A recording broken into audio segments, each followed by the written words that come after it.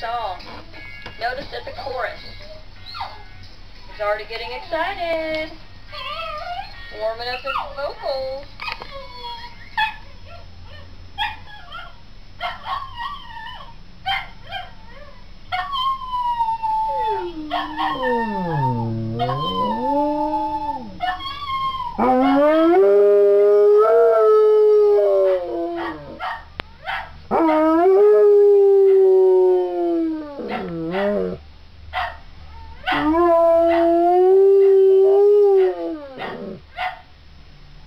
Uh...